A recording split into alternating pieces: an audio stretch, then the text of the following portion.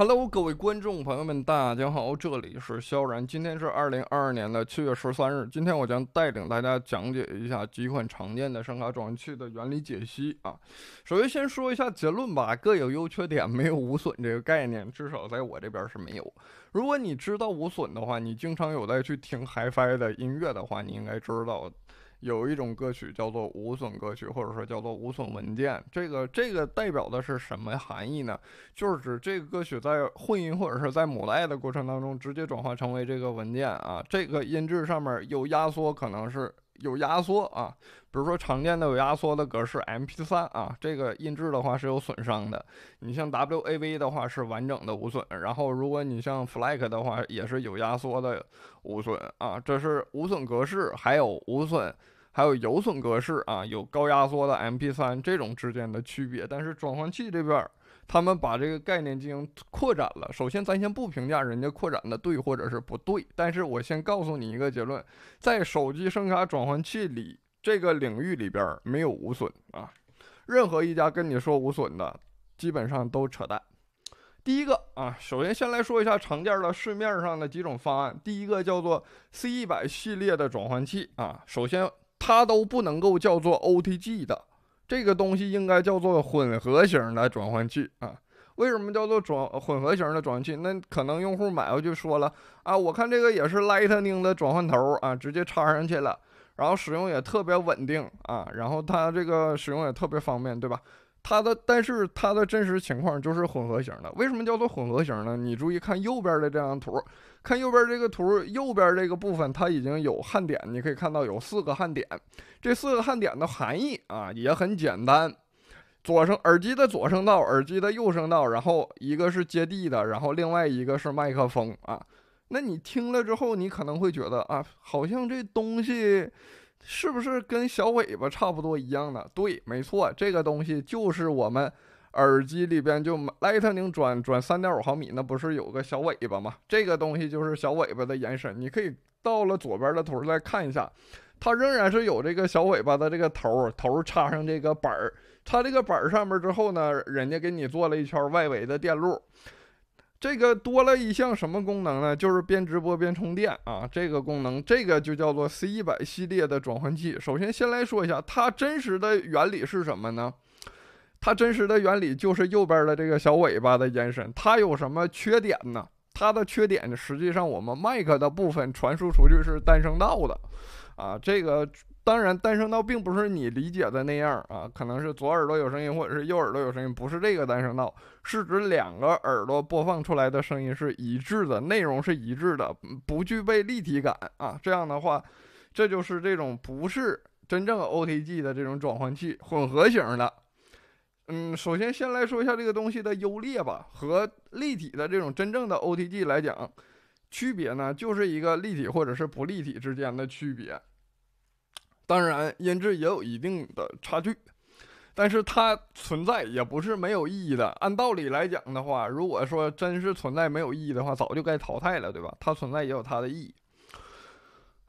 这就是这个第一第一款转换器的转换器，可能说是对于音质的损伤啊，音质前后的折损可能是最大的啊，这个可能是所有的转换器里边最大的。但是呢，这个东西还不能够淘汰，优势就是。稳定，稳定，还他妈的稳定。劣势的话，单声道，两个耳机播放的内容是一致的。适用的用途的话，是小手机平台直播啊，可能说有一些小的手机平台它不支持平台不支持 OTG 的，这个可以用这个。然后另外呢，游戏局内语音，有一些游戏局内语音呢，它不支持 OTG。第三个就是平台不支持 OTG 的。损耗的部分在哪儿呢？模拟转换成为数字，因为你要知道我们。用了这个的话，对吧？我们的声卡它肯定得是直接插耳机口，然后用三点五毫米的线去进行连接，然后三点五这个线连接出来这个信号，它是一个模拟信号，就是一股变化的的电流，然后呢转换成为数字的一组编码的这个数字嘛，对吧？转换成为这个的话，中间是要有损耗的，而且的话，三点五的就中间连接的这个线是要用三点五的，而且它还抗干扰部分做的还不是很好，啊，这就是它的缺点。另外一款产品呢，就是真正的 OTG 了。什么叫做真正的 OTG 呢？OTG 说直白一点也很简单，你就把你的手机当做成为电脑，然后它它做了一个声卡，然后我们直接一插，这个就叫做 OTG 啊，On the go 嘛。然后 USB codec 免区小声卡，这个免区小声卡叫什么意思呢？就是你之前看到淘宝上面或者是一些网站上面，不是有那种九块九免区小声卡吗？这个就是这种类型的东西啊，USB codec 免去小声卡，廉价小声卡。然后呢，加上华强北的魔法线，华强北的一些魔法线的话，他们是有一些小作坊，给你做了一些验证的电路，能够让果子能够识别出来这个东西。深层次的原理的话，你应该知道一个东西，有个东西的话叫做 Lightning 的相机套件儿，他们把这个的一些芯片搬到了这个魔法线上面。然后我们就可以直接识别我们的 USB Audio 了啊，就 USB Codec 就可以直接使用了。原理的话，见如图啊，声卡上面的话，耳机口啊，或者是音箱口，直接进入到了这个声卡的啊，因为它是声卡传声卡嘛，进入到声卡的这个 ADC 部分了。进入了进去之后，ADC 然后进行处理，转换成为数字信号啊，进入到了 USB Codec 里边。然后呢，进入到了 USB codec 里边的话，手机的话，它把这个数字信号分配给了我们的手机。然后另外的话，USB codec 它也有一些东西，因为我们手机也播放声音呢，播放的也是数字的声音，进入到了经过转码，进入到了这 DAC 里边，DAC 啊，然后进行转码之后啊，进行我们导到我们的耳机上面，我们耳机就能够听到我们手机上面播放的声音了。整体来讲，过程就是这么一个过程，就是我们声卡的一个工作流程嘛。整体来讲就是这样，线的话还是搭配的华强北魔法线，也不是经过果子认证的。这个有什么缺点呢？和前面的，前面的话，如果说我们这边来电话了，来电话了的话，这个它不会断连。这个的话，如果说我们在直播或者是在娱乐的过程当中，突然来了个电话，这边的话跳出去了，界面整个跳出去了。如果说你还想去进行使用的话，那你就需要拔插一下这个线，因为这个线的话是没有经过苹果米 i 认证的。那苹果米 i 的话，你自己去了解一下。你对这个东西的概念就是稳定好用就完事儿了。如果说你有米 i 认证的，经过了果子的认证、果子的加持，那可能会比较稳定一些。但是没有的话，那你就得来电话了，重新断连一下。就是这样，这就是这个 USB codec 免去小声卡加上华强北魔法线啊这个概念的东西。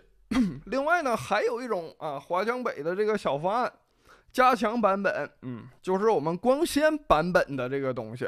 声卡呢有光纤口输出，然后直接进入到了 codec，减去了 ADC 部分的损耗，剩下的内容没有任何的变化。采采用的这个 USB codec 呢，也是免去廉价小声卡，然后光纤 SPDIF 版华强北模仿线，这个东西的价格一般那就贵了啊，一般在这个价格区间就开始给你讲无损了，嗯，这个东西实际上也不算是无损的。首先先来说一下它这两个方案的话，优势和劣势吧。优势的话是立体声，你直播出去也是真正的立体声，前提你平台也得支持 OTG 啊，方便啊，成本低。对于厂家来说，因为它毕竟就是个这种免去小声卡扩展版嘛。劣势来讲的话，声音也有失真。输入端不管是三点五毫米还是光纤，好，我们来给你讲一下失真在哪儿。原有的经过声卡音箱或者是耳机口进入到 ADC 去进行转码的时候，这个时候声音是也是有损耗的。ADC 进入到 USB codec 这编码的过程当中的话，信号传输也有时钟问题，这个是有声卡的时钟在起作用的。所以说这也是再有损耗的步骤啊，但是相比较前面的那个 C 一百系列的那个单声道来讲，这个东西是真正的立体声。适用的用途来讲的话，正常的手机平台直播，你可能会说了，那我光纤直接进入到 USB codec 里边的话，这个时候它总不能有损失了吧？哎，不对，它也经过了我们声卡的时钟处理，经过声卡时钟处理的话。由于这种 USB 的 codec，它的时钟一般情况下也不怎么样，所以说这边的话也有数字损耗，这基本上就是有损耗的东西。但是损耗大小咱们不论啊。首先先来说一下数字转换成为模拟，它有损耗；模拟转换成为数字也是有损耗。三点五毫米线的干扰啊，时钟界面的损耗，这基本上各各个地方都有损耗。然后呢，就来了近几个月新出的新方案，叫做 USB Codec 免区小声卡乘以二，然后对拷。就是直接一头接电脑，一头接手机，中间没有没有这种模拟的转换啊，这个东西，它的原理是这样的：两片 USB codec 就是两两个 USB 免区廉价小声卡，然后中间的通信呢是通过 iPhone S S 数字通信啊，然后呢手机 OTG 上下传输，手机的声音呢进入到 USB codec 里边，然后经过 iPhone S 进行传输，传输给了电脑。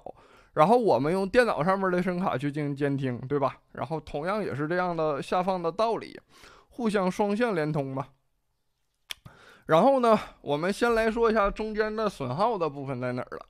iPhone S 数字通信的话，首先先要保证，得保证的是手机的这个 codec 还有电脑的这个 codec 两个的采样率是一致的。如果说采样率不一致，声音也会出现问题。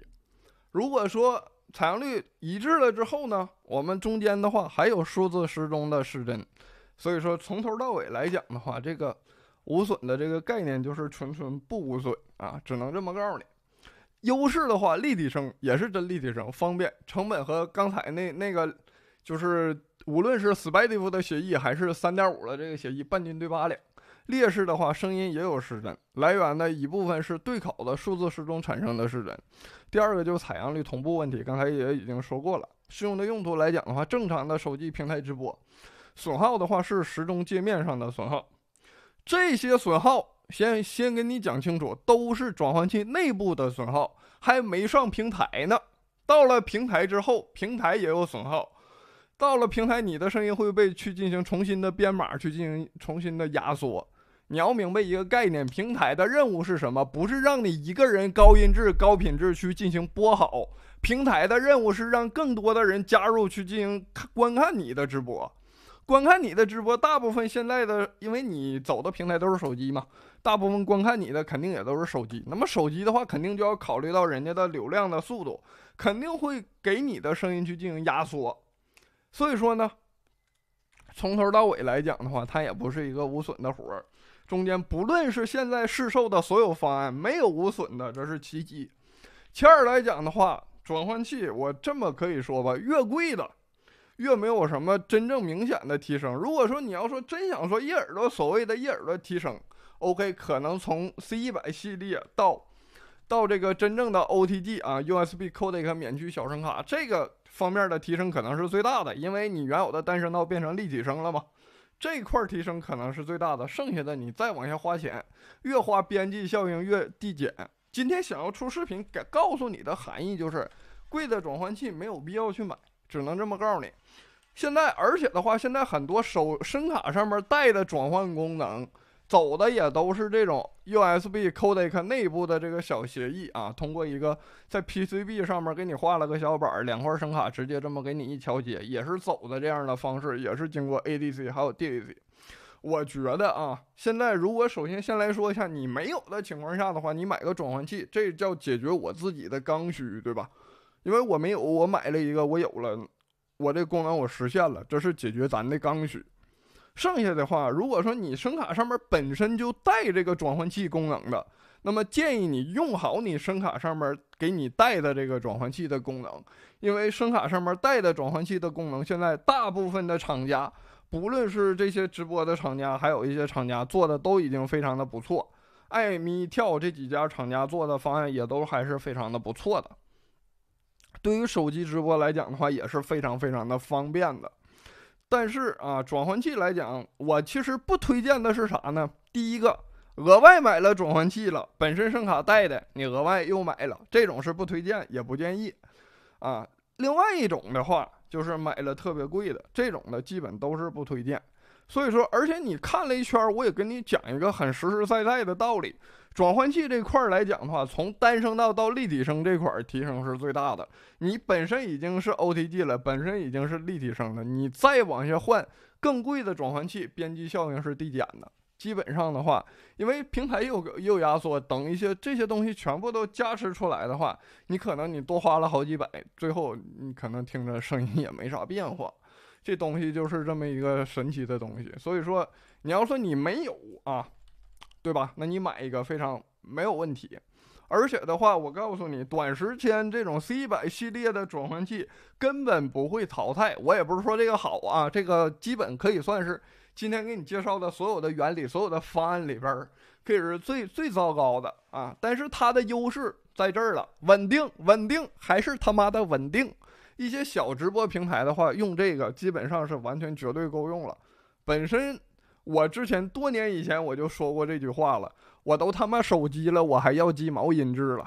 对，今天的话再把这话告诉你一遍。我都用手机了，我还要鸡毛音质？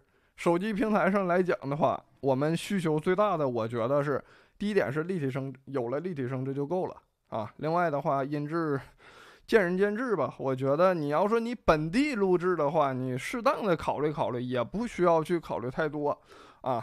这就可以了。如果你要音质，那么还是该电脑电脑。建议你就是这样。好了，感谢您的收看。